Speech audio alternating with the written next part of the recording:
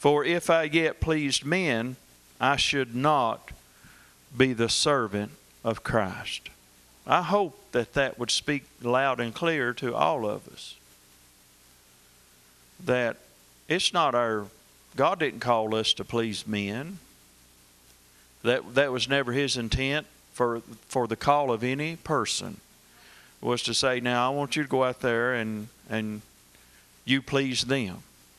That wasn't what it was about. He's, and Paul said, now if I seek to please men, then I w- would not be the servant of Christ.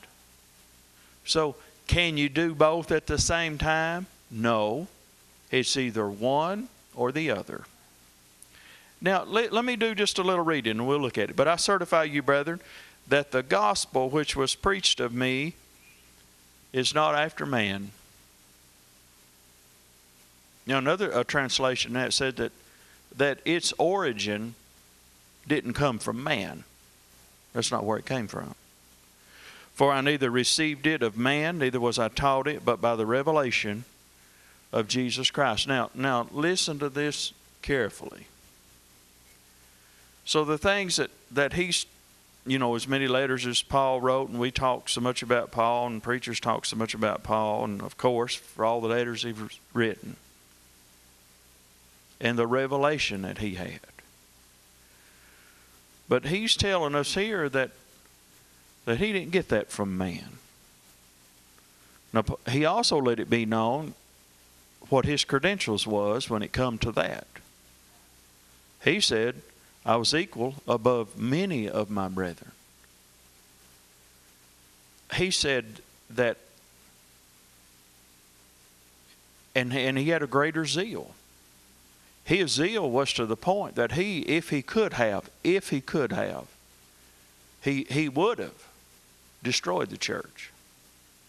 Well, he didn't know it was the church, but what he thought was, was an enemy to God, he was out to destroy it. Now, that's the kind of zeal, the kind of person that Paul was. And it had something to do with the, what he was going to do next when he did get on the right road. His zeal was just going to, going to be just as strong or stronger for God for doing the right thing instead of over here doing this. Amen. Amen. Now, a lot of people, you know, say a lot of things, but but to actually go out and do them, they're not going to do them. Amen. But his credentials was that, hey, you see what I was doing. That's how much I believed in it. And I had a zeal zeal enough that that that I would even have people put to death and be there while they were being put to death, you know. And he said, But now something's changed. Jesus came on the road to Damascus and he talked to him. And he realized what had happened. Now he said here in uh, verse 12, he said, For neither I received it of man, neither was I taught it, but by the revelation of Jesus Christ. Now, he said here that he's not even been taught it by man. Now, there's a, there's a big thing, you know, throughout all the church where we think that the whole thing is left up to somebody teaching us, some man teaching us. A lot of people follow that.